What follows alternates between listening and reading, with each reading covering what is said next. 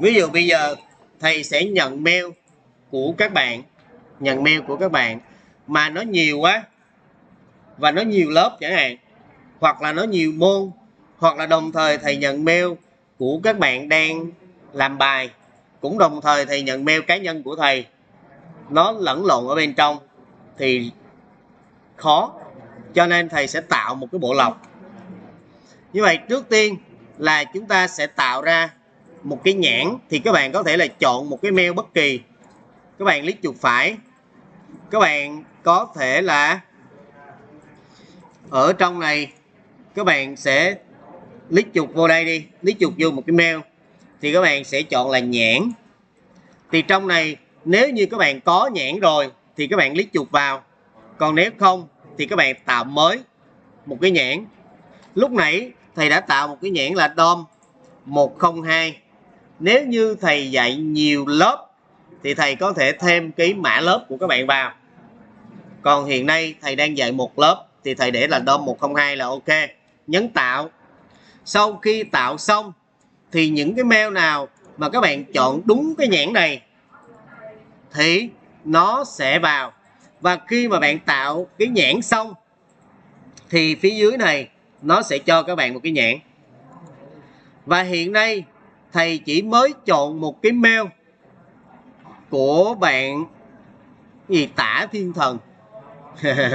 Đó, thầy không biết là mail của ai.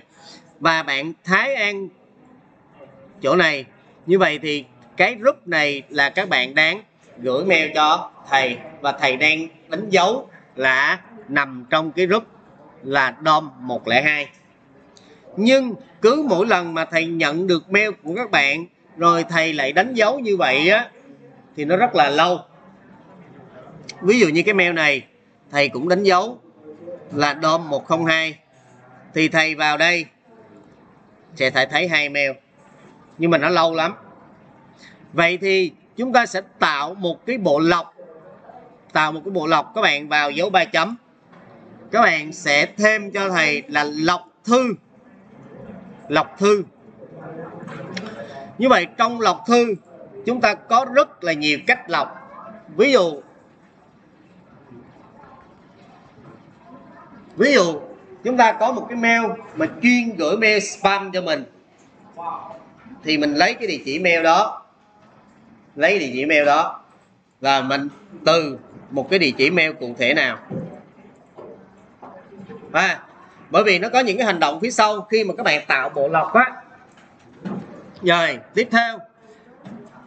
Đến ai còn cái của thầy đang muốn lọc với các bạn là tiêu đề DOM 102 hoặc là cái mail của các bạn mà nó có những từ là các bạn cho là spam hay là có những từ mà các bạn cho là nó à, không được hay thì các bạn sẽ lọc bỏ qua các mail đó. Thì các bạn sẽ cho ở đây. Hoặc là các mail mà không có một cụm từ nào đó mà các bạn quy định thì không nhận luôn. Đó, thì tùy các bạn chọn. Hoặc là các mail, các bạn sẽ ràng buộc nó theo kích thước mail. Mail lớn quá không nhận, hoặc là mail nhỏ không nhận, vân vân. Rồi, chứa tập tin đính kèm. Nếu như mail mà có chứa tập tin đính kèm thì không nhận hoặc làm gì đó, thì tí nữa mình sẽ thấy cái hành động vậy mình sẽ chọn cái cái quy chuẩn ở đây. Sau đó mình tạo tạo bộ lọc. Trong quá trình tạo bộ lọc của bạn có rất nhiều cái lựa chọn. Tức là, ví dụ như những cái nào mà nó có cái substrate mà nó chứa chữ đo 102 thì mình bỏ qua hộp thư đến. Nó không vào hộp thư đến, bỏ luôn. Hoặc là bạn đánh dấu là đã đọc, là coi như mình mở lên. Nó không cho mình nó không cho mình biết là hộp thư này đã tồn tại. Bỏ luôn. Coi như là đã đọc rồi, mặc dù mình chưa đọc. Như vậy chỗ này nó sẽ giúp cho mình. Ví dụ như những cái mail nào mình mình có nghi ngờ là nó bị virus, nó gửi các cái đường link đến, thì khi các bạn mở mail ra là nó có nguy cơ bị nhiễm virus, thì mình bỏ qua luôn. Khỏi đọc luôn. Đó. Hoặc là mình đến dấu sao là mail của sếp mình gửi, thì mình luôn luôn là đề cao cái mail này thì mình đánh dấu sao vô. Cuối mail này thì đánh dấu sao. Đó. Còn bây giờ hoặc là cái mail đó à, ví dụ như là khi mà mình nhận được một cái mail của giám đốc mình là leader thì mình sẽ có nhiệm vụ là bởi vì là mình mình mình mình mình là leader mình nhận được cái mail này nhưng mà những cái người cấp dưới của mình thì không nhận được. Thì giả sử mình mong muốn rằng là trong đợt này khi mà nhận được mail của giám đốc, thì đồng thời gửi cái mail đó cho những thành viên trong nhóm. Thì các bạn sẽ chọn là chuyển tiếp chuyển tiếp. Đó. đó, thì các bạn sẽ thêm địa chỉ chuyển tiếp vào đây. Hoặc là nó có cái hay nè. Bạn sử dụng rất nhiều mail.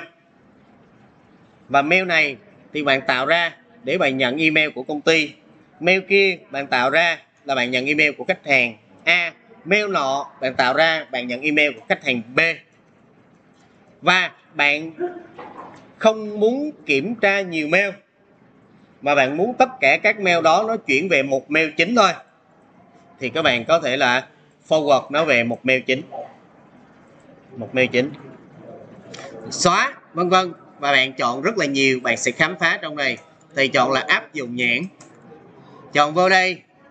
Bạn có thể tạo một nhãn mới hoặc là bạn chọn cái nhãn mà lúc nãy mình tạo thì ở chỗ này, nó đang tìm thấy DOM 102 có 23 mail giống như vậy. Nếu như bạn tạo bộ lọc mà bạn không chọn ở đây, thì những mail phía sau, nó mới được áp dụng bộ lọc. Còn những mail gửi trước đó thì nó không áp dụng.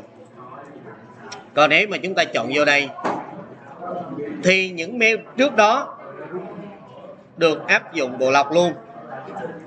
Đó là những cái phần ưu tiên để mà setup cái bộ lọc của chúng ta. Và các bạn chọn tạo bộ lọc đây. Các bạn đây nó chọn cái DOM 102 tất cả những cái nào mà có DOM 102 như vậy sau khi thầy áp dụng xong, thầy mở lại cái DOM 102 đây. Bộ lọc của mình đâu rồi? Subject DOM 102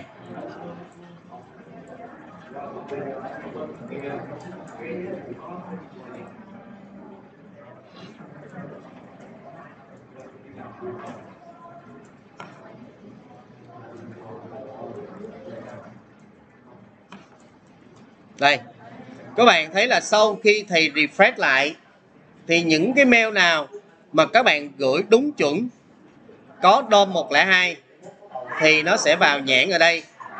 Còn những mail nào mà không gửi đúng chuẩn, thì nó đã đi ra đi ra bên ngoài. Được chưa?